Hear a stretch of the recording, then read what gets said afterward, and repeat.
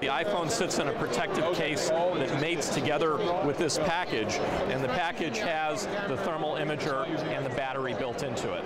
So the device has an application with it that is free on the iTunes Store that has a number of features. It allows you to take still photos, it allows you to capture movies, uh, it allows you to make temperature measurements. It also allows you to take those still photos or movies and then share them through the conventional means of email or MMS or or social media sites. If you look at the application running on the device, you'll see that we're looking at a color thermal image where the lighter colors represent heat and the cooler colors represent lower temperatures.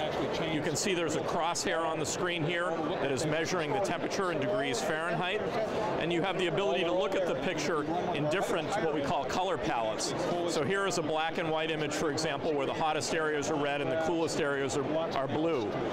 This is called an Ironbow palette. So again, we're seeing uh, shades of temperature here with this, and of course we would be able to see this image if there was no light on in the scene at all right now.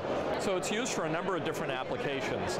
It can see in total darkness, it can see heat loss, it can see moisture, uh, it can see through smoke, uh, it can measure temperature exactly. If you woke up in your house and your house was full of smoke and you wanted to find your children or perhaps pets, you'd have the ability to navigate through the smoke, find those loved ones, and get out safely.